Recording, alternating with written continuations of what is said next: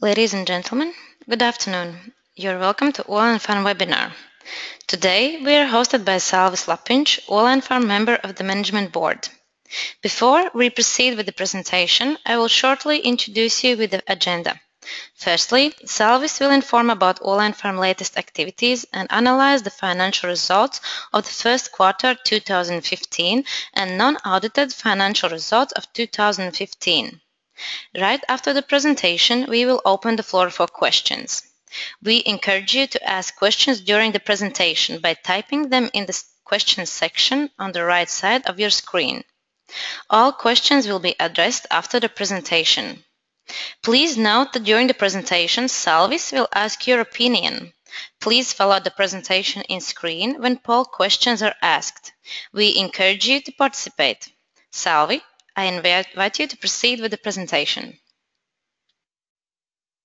Good afternoon, ladies and gentlemen. Um, it's nice to have you here.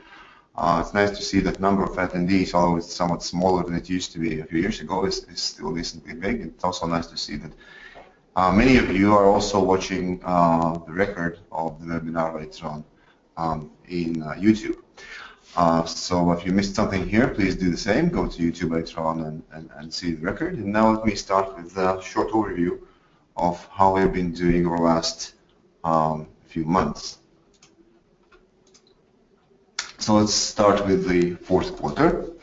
Uh, let's have a quick look at, at the sales. Um, in the fourth quarter alone, we made sales of 25.7 million euros, which is increased by 8% compared to fourth quarter of last year and you see in the chart that this makes it the best, in terms of sales, the best um, fourth quarter in corporate uh, history so far. And if you look at other other quarters, you see this is actually the second overall, second best overall quarter uh, that we ever had. And I'm glad to say that two of the best quarters in our corporate history have really been taking place this year. Pharmacies added uh, 4.7 million in gross sales, and if you do the consolidation correction, they have added 2.3 million to the net sales. Um, the same figures for Silvanols are 1.5 million in sales, which also has been the best quarter in their corporate history. And 1.3 million of that has been added um, as uh, consolidated sales to the group. Now, uh, if you look at the profit of this quarter, uh, according to unaudited preliminary results, we made a profit of 2.7 million euros. Uh, and uh, well, because we had reasonably low base last year, if you remember, uh, last year during Q4 we made we had a very significant forex loss caused by a sharp drop in value of Russian ruble. So if you do the Q4 and Q4 comparison, we see we have grown by more than 2,000%. But again, there's nothing specific about this quarter. It more has to has more to do with uh, poor performance because of forex uh, in Q4 last year. As far as provisions are concerned, there are net effect of provisions is basically zero because we um, provided roughly 1.1 million euros to the forex uh, correction that we'll have to do for, for our Ukrainian uh, shipments. And we also reversed 1.1 million euros um, because of um, uh, provisions that we made uh, because of Russian wholesaler Oriola. Um, we have managed to uh, find a certain settlement with them and actually are, are starting to receive some uh, payments from them. So we decided to reverse it back. If you look at EBITDA and EBITDA margin, uh, for the first time since we do this chart, and uh, obviously for the first time ever, our EBITDA has exceeded 25 million euros. So this is uh, this has been expected because the uh, you know reasonably bad quarter of uh, fourth quarter of last year is now out of uh, the chart. So, uh, and um, therefore we, if you remember during previous webinar, pretty much predicted this, this to be happening. Uh, EBITDA margin is approaching 26% and that level is best since 2013.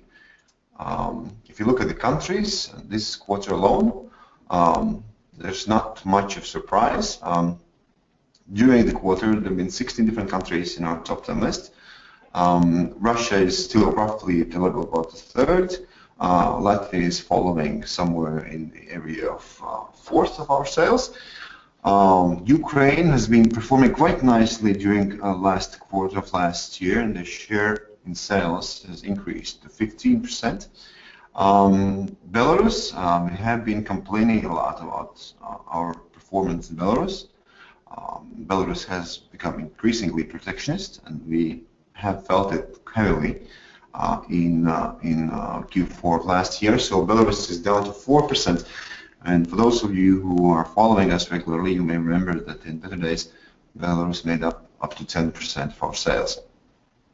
Um, compared to Q3 of last year, we don't no longer see Lithuania in, and uh, Turkmenistan in this pie chart because those got replaced by Switzerland and Tajikistan. Switzerland actually has been performing quite well uh, recently, uh, pretty much because of the one uh, one product that we are now shipping to uh, Switzerland, and uh, you will see that uh, a little later. and if you if you look at the pie chart for um, for products for Q4 alone, again, pretty much um, same picture, especially if you look at the best sellers. Um, is up to 21%, uh, that's by 2 percentage points, and the same pretty much applies to uh, PASA. Um, Noofen, Furamag, Furasol, Furagin, and Fencarol are reasonably stable at their respective levels. Um, one disappointment has been Adaptol. Uh, they have lost about a third of their share, and Etazine has lost about one-fourth of its share. Um, is back on top list, and that has to do with uh, that has to do with uh, season of flu approaching. Uh, and lenalidomide is the product that we are shipping to Switzerland, and that's first time on our top 10 uh, product uh, list. So this is a sort of new project, new product that probably will appear in our top 10 products uh, from time to uh, for some time uh, to come. Now, let me ask Lasma to put the first poll question and this is uh, quite a usual one, um, which we normally with which we normally start our webinars, and that is where we ask you for your opinion, for your assessment of uh, what do you think our uh, Q4 and, and the whole 2015 performance has been. Uh, do you think it has been uh, what you expected? Uh, do you think it was maybe a bit better than you expected, or, or maybe a bit worse than you expected. So um, take your um, few seconds uh, to uh, to mark your answer, uh, and in the meantime, I'll, uh, I'll, I'll, I'll, I'll not move to the next slide. So I'll give you some more uh, some more seconds to to vote. I think it was uh, it was time enough to do so. So if I may uh, ask you, so thanks for voting. Um, so then now let's move to our next slide. Let's have a look at uh, 2015 in general. Know, yet another record. It's um, almost 98 million euros, uh, and, and, this year it was particularly easy to calculate the percentage of the target that we have attained as we said, 100 million is our target in sales. So we slightly missed that by a little more than 2 million euros. Uh, but still, that makes this a best year in terms of sales in corporate history, uh, as we increased our sales by 4% compared to last year. Um, pharmacies added about 17 million to our gross sales, and about eight and a half, roughly half, was uh, added to net sales because of consolidation correction. And these numbers for Silvanols are, are, are 4.4 million uh, in uh, with the overall sales and about 3.9 they added to our consolidated sales um, for both uh, for all three of us basically for Olainfarm, for pharmacies and for Silvanols. Uh, these are the best numbers ever uh, so far at least. If you look at profits, according to an audited statements, we have net profit of a group of 14.8 million euros. Uh, increase here is much nicer. It's uh, by 21% uh, compared to last year. Um, it's slightly short of a profit guidance of 50 million that we had for this year, uh, for last year. And of course, if you remember the um, profit chart per quarters, you will have you remember that uh, it was helped significantly by great forex gains that we had during Q1. Um, if you remember, we made almost 7 million in that quarter alone, so basically almost half of our year's profit. Uh, and therefore, it might be somewhat um, difficult for us for some years to come to repeat this reasonably good um, profit uh, number. But uh, of course, uh, that's given that the you know, composition of group remains the same. So if you look at the products, um, what have been uh, growing uh, nicer here uh, or, or, not growing, still para-aminosalicylic acid is clearly the one that saves the day.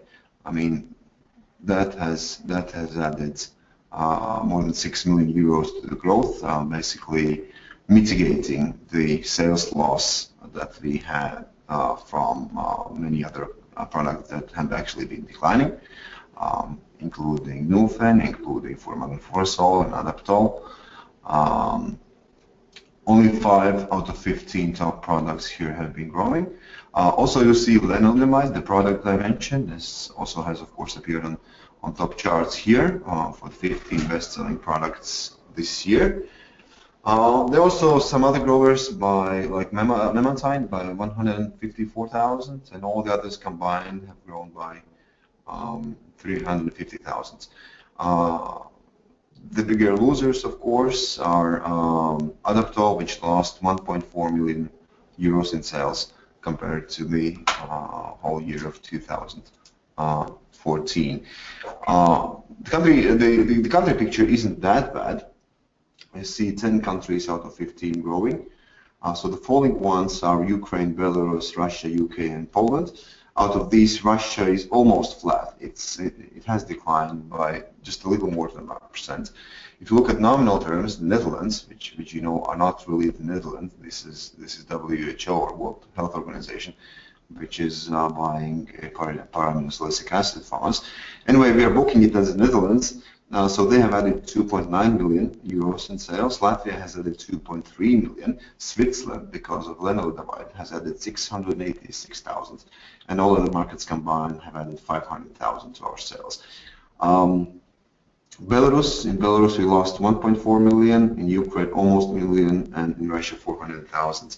So uh, basically since these are the key markets and the key markets are the key consumers of our big products, loss in sales of Adaptol and, and other um, well-known products of ours pretty much derives from the sales in, in the countries where these products were uh, quite well established. Uh, and now I think it's it's time for our uh, second uh, poll question. Um, we have I have uh, gone through our performance uh, in 2015. Um, well, uh, giving you some hints of what we have um, uh, what we have done and what what is there to expect for from us in the near future. and so. Um, therefore, the question is, uh, do you expect us in 2016 to grow? Do you expect that our results will actually worsen? Or you expect this to be somewhere somewhere in the same uh, level as, as we uh, demonstrated in 2015. So please um, uh, take a few seconds to answer the question.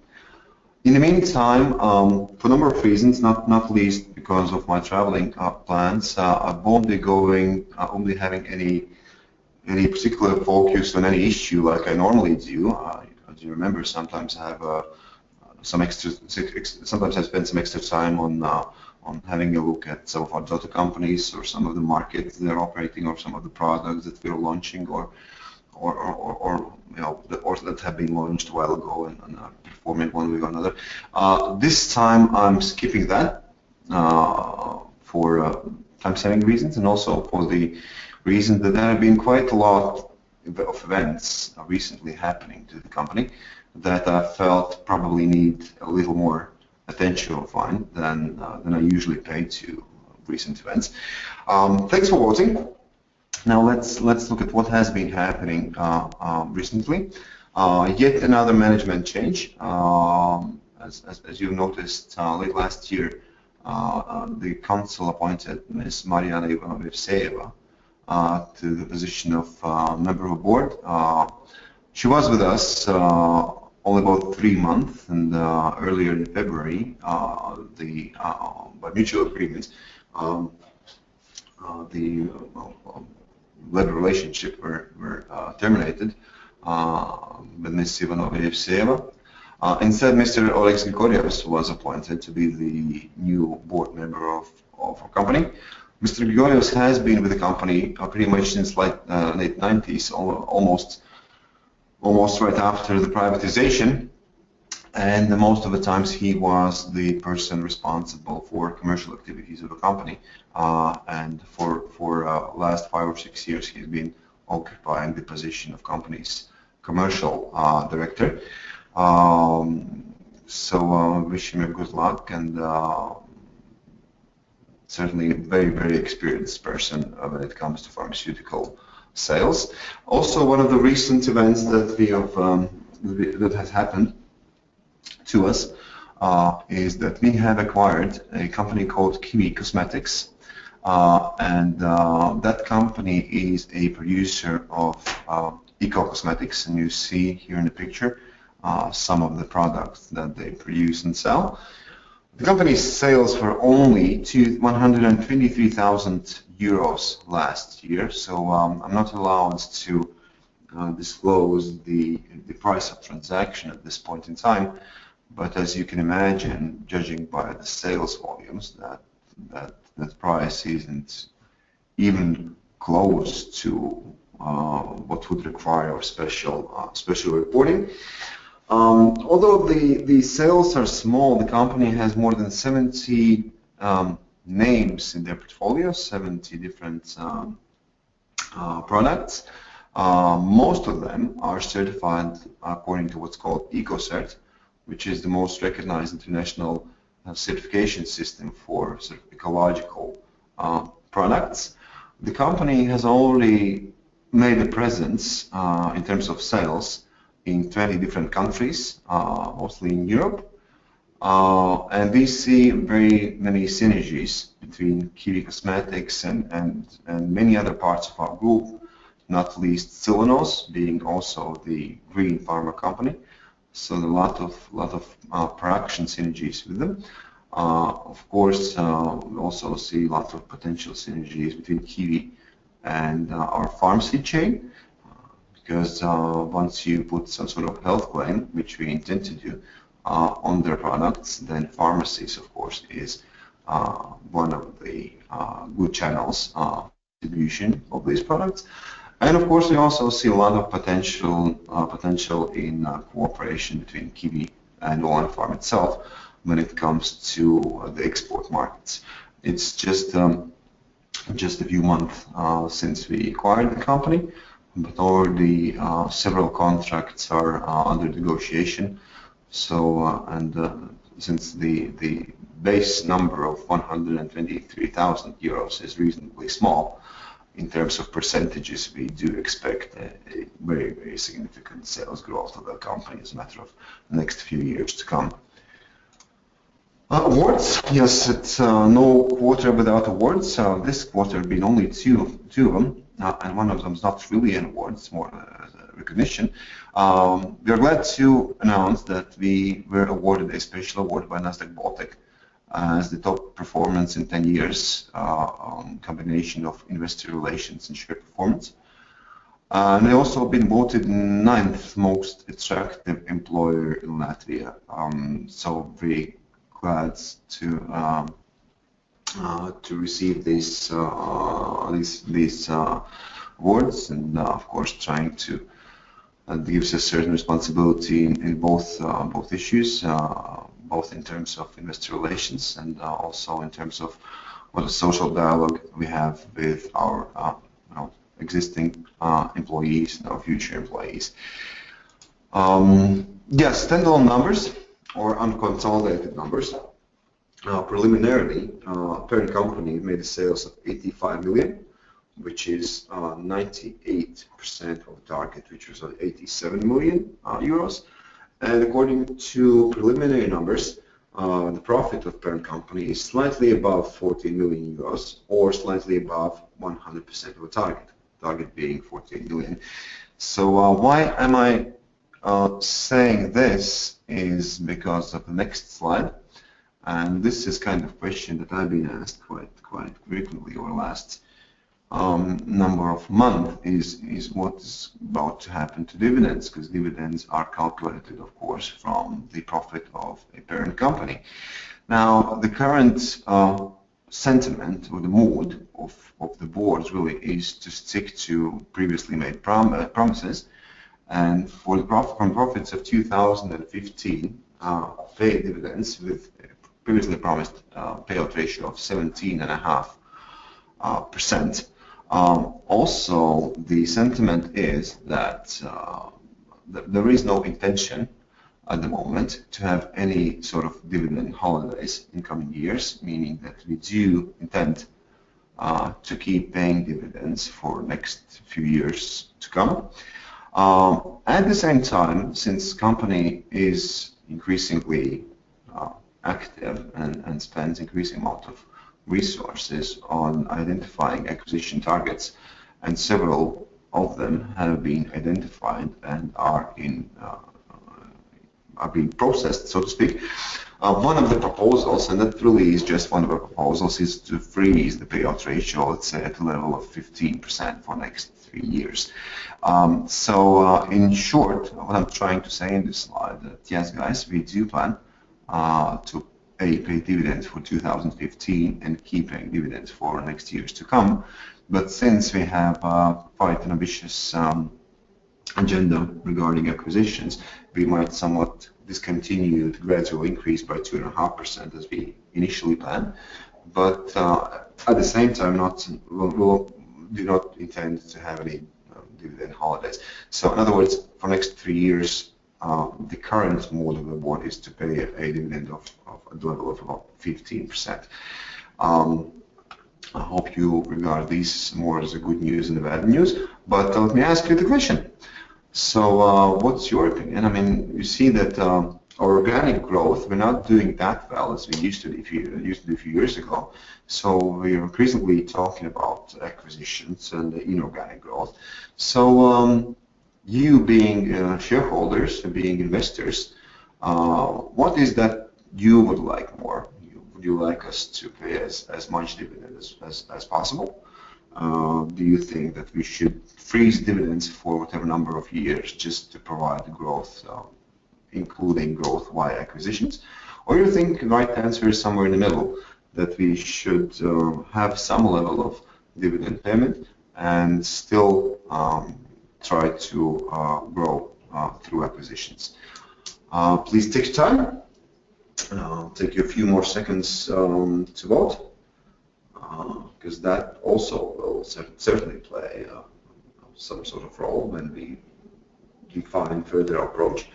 Uh, again, let me emphasize that this is in no way a, a, done deal. This is, as I just said, this is dividend debate. This is uh, pretty much going, you know, conveying you the the conveying you the the, the mode, the considerations that have showed up in different different board uh, discussions, council discussions, and management discussions. So thanks for voting.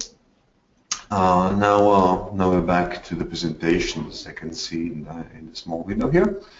Yeah, um, among other things that have happened recently, Trasta Komercbanka, uh, its license has been revoked.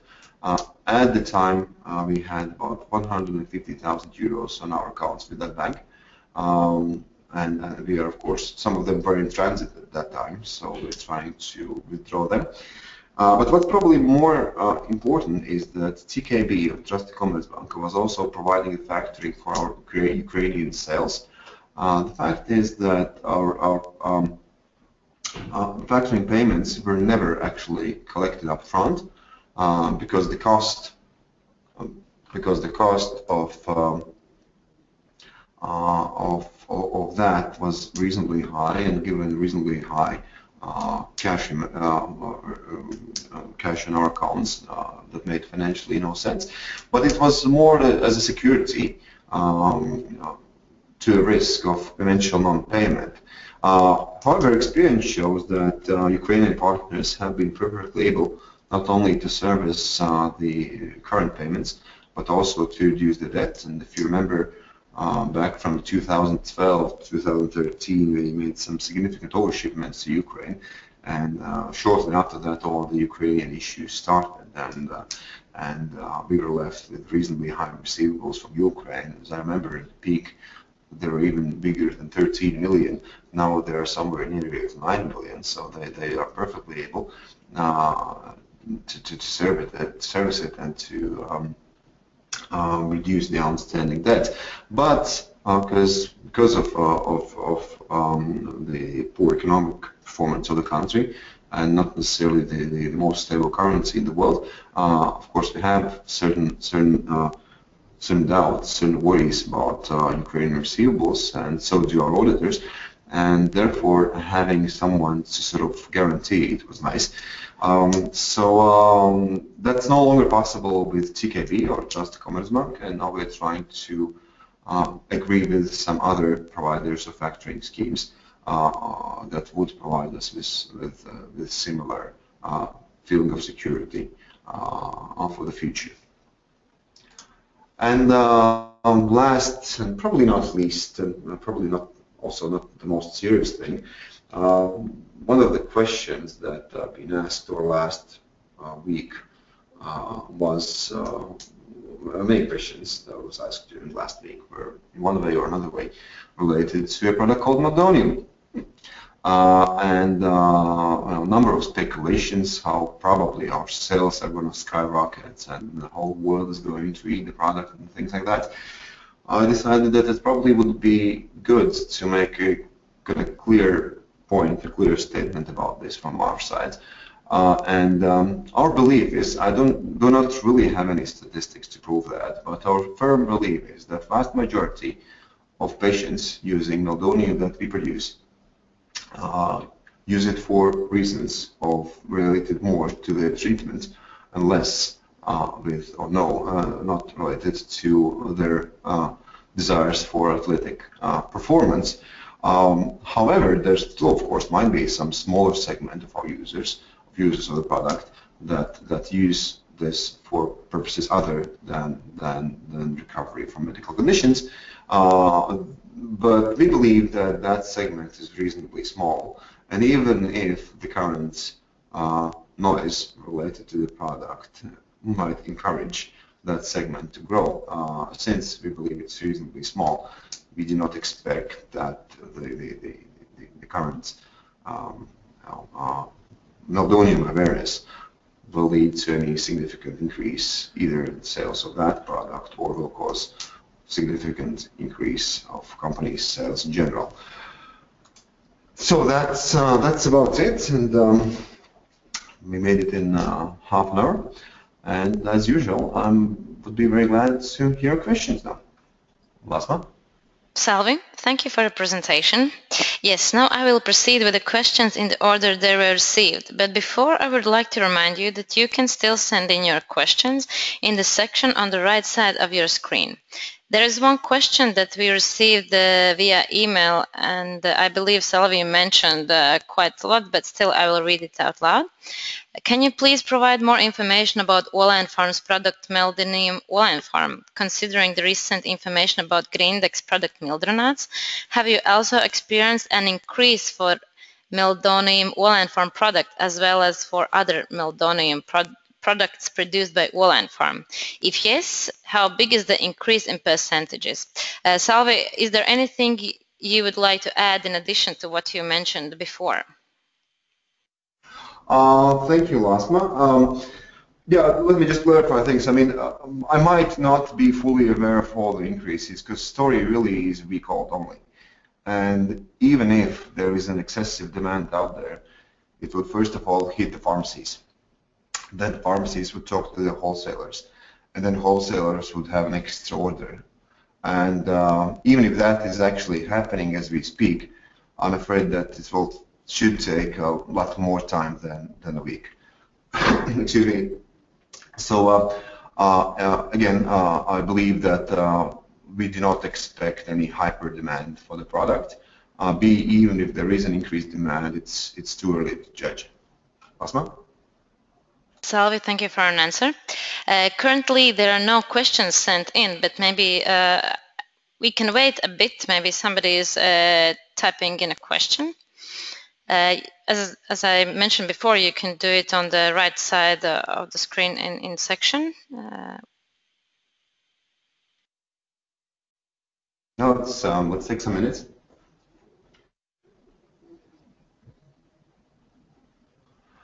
Obviously, the presentation was um, quite comprehensive, self-explanatory, or maybe it wasn't. How about dividends? Maybe you have questions about dividends. That's uh, everybody wants to talk about dividends.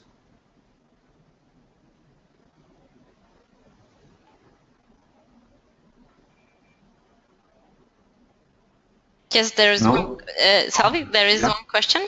Please update on most recent RUB sales FX rate. Um, yes, um, I guess I um, I know what, what what you mean. It's it's, it's probably the FX rate that we apply to uh, our price list that that we use in our Russian trading, and the current FX rate for Q1 is 92 uh, rubles per euro. So uh, again, uh, that will uh, most likely lead to inflated sales to Russia. And since ruble is behaving more or less okay, that might also lead to um, you know forex gains. But again, that's that's probably too early to judge. Lasma. Salve, thank you for an answer. There are two more questions. I will start with the first one. How would you explain the 18% uh, I assume it's here, and uh, sales drop for Silvanols, uh, in January. I would explain it uh, purely by the fact that they had had great sales in both November, well, even October, November, December. They had about like average of slightly more than half a million per month, which is which is huge sales for Silvanols. Now, uh, yeah, so my explanation is that system probably was quite full, uh, and and uh, yeah, they, they, they, probably did some extra shipments later uh, at the end of the year, uh, and I wouldn't really um, make a great story out of it if, if February and March are back on track. Is February back on track? We will actually see, hopefully, um, maybe tomorrow morning. I'm talking about our monthly sales figures. Lasma? Sorry, thank you for an answer. And one more question that has been sent in. Please update on status of shareholder loans and whether dividend announcement will reduce or change it. There, there are still some shareholders loans outstanding. Um, dividend announcement uh, will clearly uh, reduce it. Uh, there has been some corrections uh, appearing to it uh, quite quite recently, and some some um, some improvements are expected uh, if and when dividends are actually paid.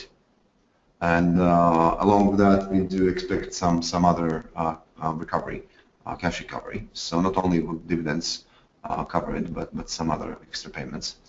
Um, so we are, um, it's not the nicest thing to have, of course, and, and, and this question um, keeps reappearing pretty much every webinar, but, but it seems to me that that the, the solution in the moment is, is, is starting in a good direction in this sense. Lasma? Salve, thank you. I will proceed with the questions. What is your opinion on increasing companies' capital from the profit and giving the shares to current shareholders instead of paying dividends? Well, that, that, that's an interesting idea. To be absolutely honest with you, we haven't really looked at this option. Uh, and uh, but maybe maybe it is worth pursuing. Maybe it is worth pursuing. Um, why we have been reasonably, um, let's say, uh, why we haven't been really pursuing this before is that in most of debates, it's it's dividends that we have been thinking about and shareholders have been asking for and uh, and so on. But yeah, let, let me well let, let us start the debate internally uh, before before I can answer this question fully. Thank you, Lasma. Thank you, Salvi. Two more questions to come. When export to Turkey could start? Yeah, so uh, export to Turkey, as, as, as I've been saying, we do expect the first registrations, if everything goes smoothly, we do expect the first registrations of our product in Turkey at the end of this year, meaning, let's say, November, for instance. If that happens, that means that this year we would only probably ship some samples. Um, most likely, more decent exports, if everything goes according to plan, would start next year. But then again, next year would be our first year of operating in Turkey. So uh, technically, we would start probably export next year, but those would be reasonably small. Uh, in order for a country the size of Turkey to become a meaningful player in our all export markets, uh, say uh, before Turkey shows up on our top 10 country lists, I think it should take, could take up to about three years, maybe in four. Last one. Salve, thank you. And uh, the last question is regarding uh, PASA. I believe you mentioned it in the presentation, but apparently a person missed this information. Um, what sales for PASA are budgeted for 2016 and increased comparing to 2015? How many years do you expect the growth for this product? We are still tentatively planning a slight growth uh, of that product because we believe we are close to the maximum levels of that product for WHO. Uh, but that's for WHO. Uh, we are also, um, since the product has become reasonably well known, uh, we are also talking to, via WHO, to the governments of, of some nations uh, that are, some of them are, for some of them, support of WHO is discontinuing, but they know the, the product. Um, so they'll be happy to import them on their own without involvement of WHO. Uh, so we expect that uh, we might have a couple more years with slight increase in sales of that product, but uh, but nothing as dramatic as we have seen in 2014 or 2015. Lasma? Salve, thank you. One more question. In terms of acquisitions, are you mostly looking at smaller size add-ons or would also potentially consider bigger scale acquisitions? Uh, yeah, let me. Well, that, that, depends on what you what you what the definition of big and small. Uh, yeah, well, Kiwi, of course, is is is a tiny good acquisition, and uh, all the other things that we are having a look at at the moment are uh, numbers of times bigger um, than, than is. But then again, if, if you look at our size, and we're talking about roughly 100 million uh, market cap, um, nothing is as big as that. Let's say the, the, the, targets that we currently are talking about are somewhere in the area of, uh, of let's say, 15 million euros. Um, and uh, that's a bigger one. Others, others are smaller. Lasma? Salvi, thank you for an answers given.